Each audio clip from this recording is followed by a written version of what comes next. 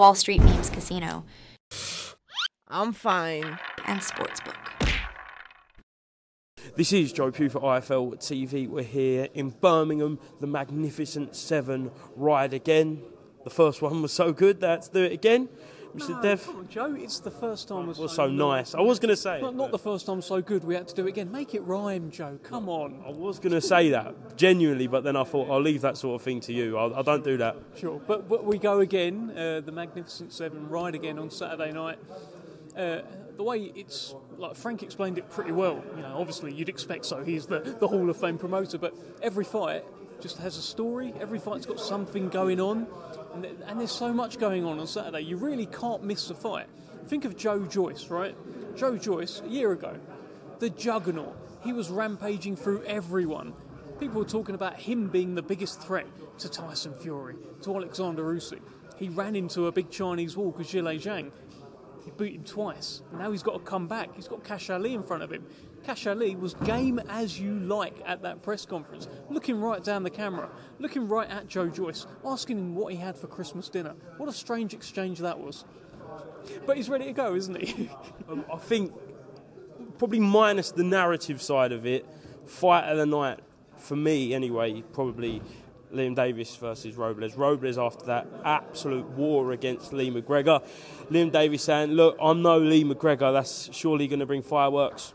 Good thing to say, wasn't it, from uh, from Liam Davis? Look, Robles, he calls himself El Terrible. Now, the last El Terrible that I know from Mexico was Erik Morales, who was one hell of a fighter, my favourite fighter, one of my favourite fighters. If um, if Robles is half as good as uh, Erik Morales, then uh, it could be a terrible night for, for Liam Davis. But Liam Davis, mate, just look at him. Look in his eyes. He's got that grit, that I'm from the gutter. I'm from nothing. I'm trying to change my life. And he's just taking hard fight after hard fight after hard fight.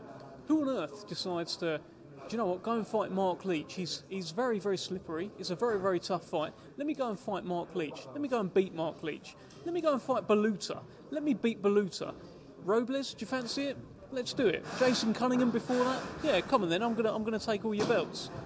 He is uh, he's quite something, and he is he's someone that the country should be getting behind. Uh, they call him the Terror of Telford, the Don of Donington. Let's see if he can uh, put on a show in Birmingham on Saturday. Nathan Heaney, is this? I know. I feel like we said this last time, but is this the last step before the Stoke Stadium fight? I think so. Uh, it, it feels like it. Feels like you don't want to like tempt fate, but it's it's obvious he's got to fight there at some point. Hopefully, at some point, very very soon. The thing is, he keeps putting these hard fights in the way of it.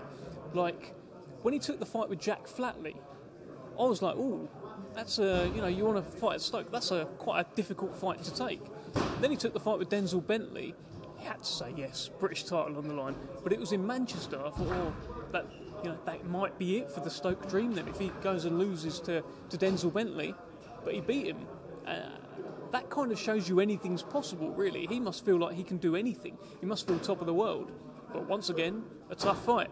Brad Pauls. If this fight had been made a year ago, before Denzel, before uh, the Denzel Bentley fight, Brad Pauls would probably be a favourite against Nathan Heaney, English champion. You know, he's a he's mixed in good company. He has stopped people that Nathan Heaney hasn't stopped. I think it's a very hard fight. I think it's a fascinating fight. Nathan Heaney has all the momentum in the world right now. 2,000 Stokies will be with him, baying for blood. Uh, can't wait for, for the ring walk. Just can't wait for the fight.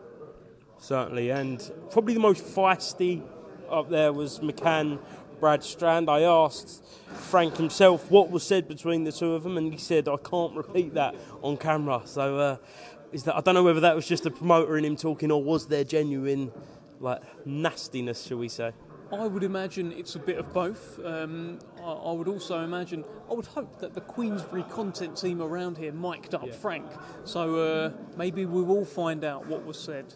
But there is a little bit of bit of something, isn't there? There's a, a good bit of needle between them.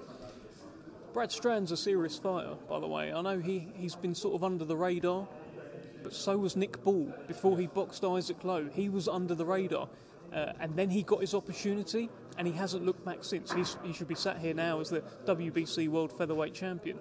So sometimes those fighters that go under the radar suddenly get an opportunity against a fighter with a with a big name, a big scout, and they take it. Brad Strand is seeing himself as that guy on Saturday.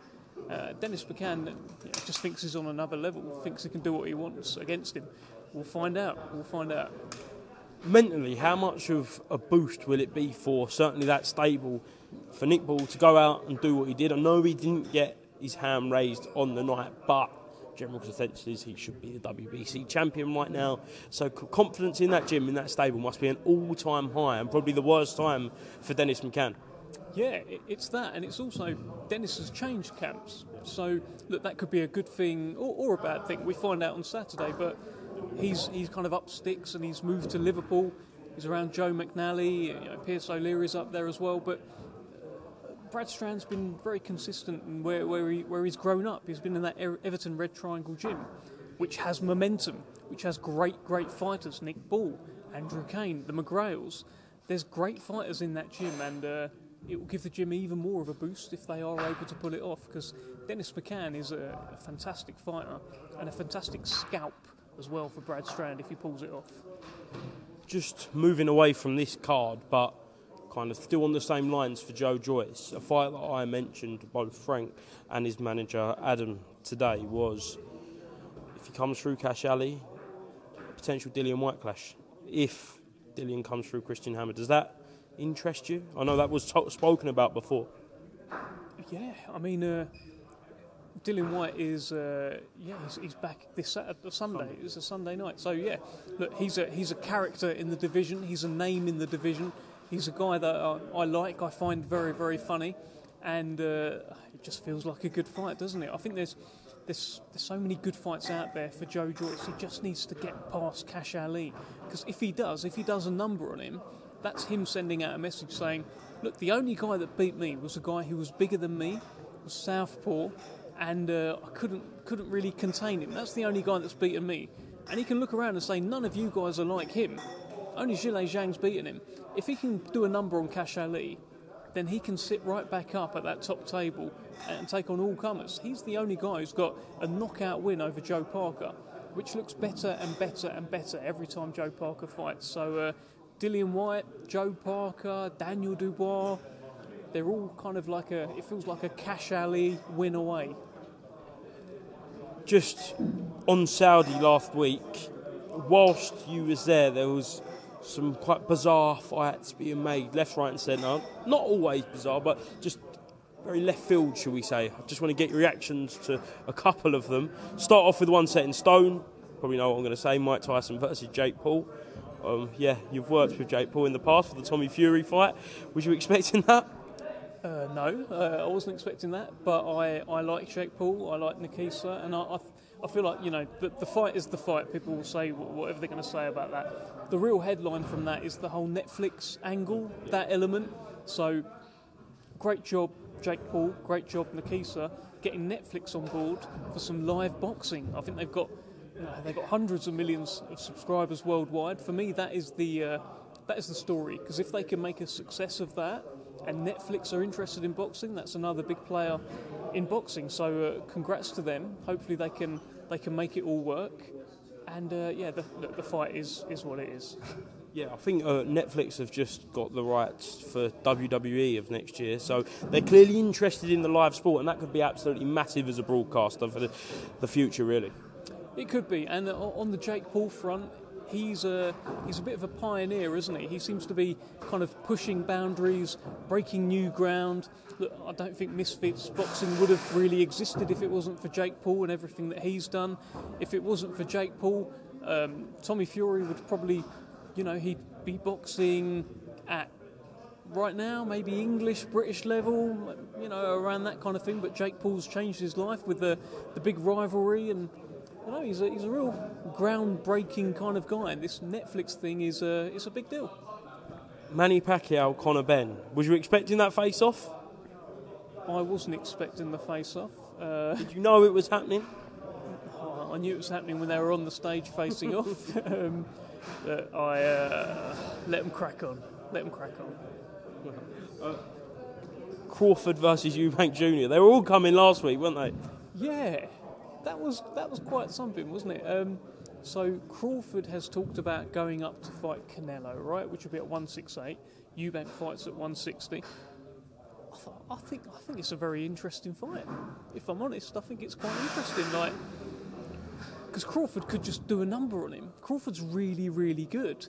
Um, fascinating fight. I, I really come out of left field. I don't really know what to say. Like, there's no like, wouldn't be any titles on the on the line or, or anything like that. It's just a.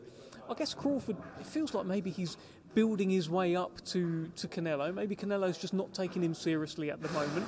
I think he's talked about that. He's downplayed a fight with, with Crawford.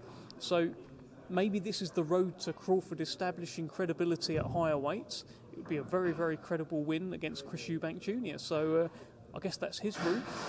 For Eubank Jr., you get a great, great fight against a, a great name, against one of the best boxers in the world in, in Crawford.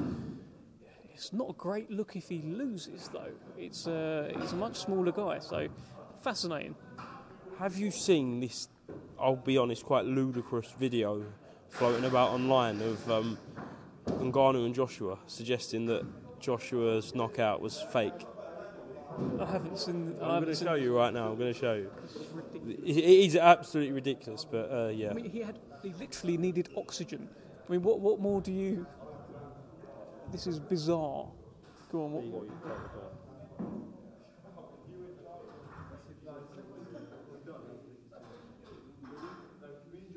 right. So that's the first knockdown. That's it.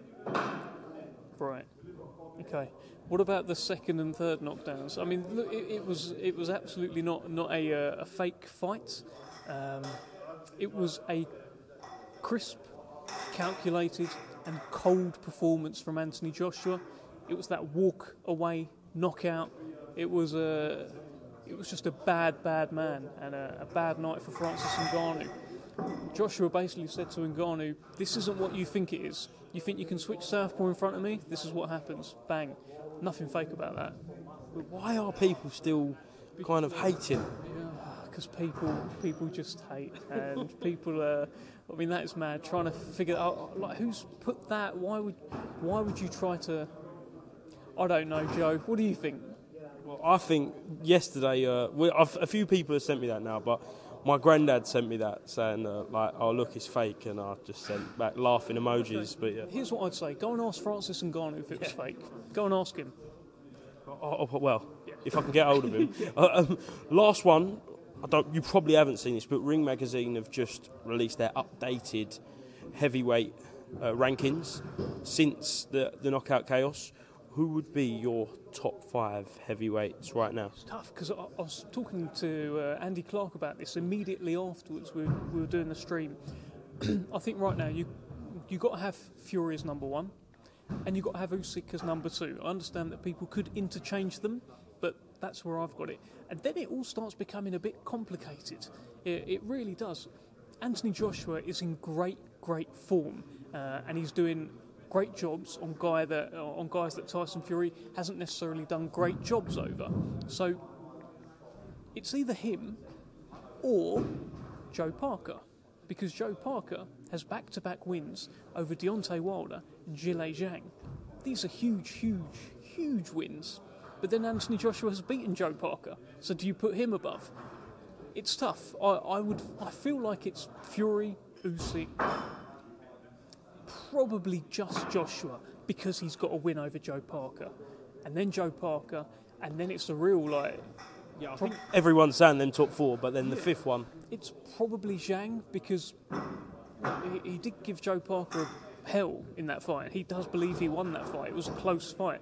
No, no one knew conclusively who, whose hand was going to be raised at, at the 12th and final bell. So uh, you'd probably have Zhang there as number five. I think Wilder's completely out of those rankings until he fights, if and when he fights again.